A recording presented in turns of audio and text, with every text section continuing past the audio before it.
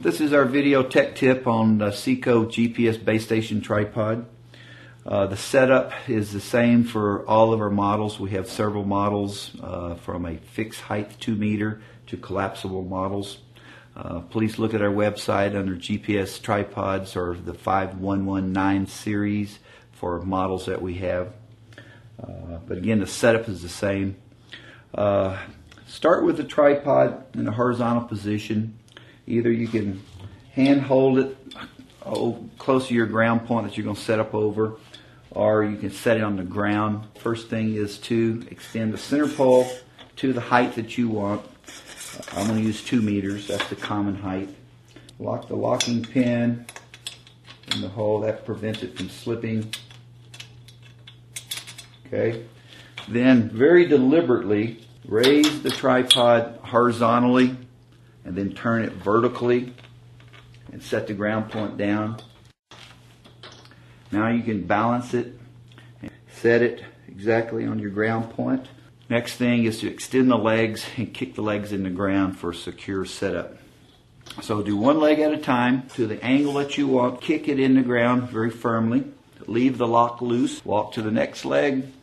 Extend it. Kick it in the ground. Leave it loose. Go to the next leg, last leg, extend it. Now kick it in the ground. Now they're all three loose and you can easily pivot, stand between two legs and just holding the two intersections, you can move the tripod around, turn the center pole till the bubble is facing you and center it until you get it very close to center and then go one leg at a time. And you can move the leg very precisely in one direction until the bubble is close to center or centered in that direction. Lock that leg. Move to the next leg.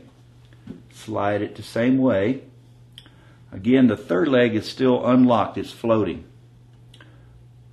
Slide this leg in or out until the bubble is centered or close to center. You may have to go back to the first leg. Once you get the bubble centered, you could 180 it for a quick check. Once you determine the bubble is centered and it's in good calibration or you've meaned it out, now lock the third leg. Now your tripod is set up over the point and you're ready to install your antenna.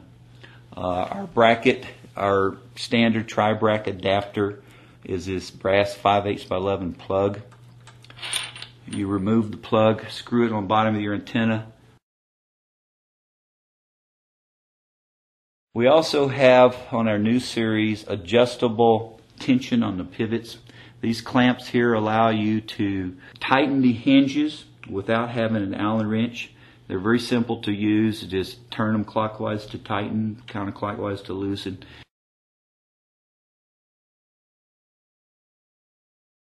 That's the basic setup. Breakdown is just a reverse of that. Walk up to the tripod, lock any leg, lift it up, press it into the lock, clip lock keeper. Okay, now again. Again, letting gravity balance the whole thing for you. You don't have to fight this tripod at all.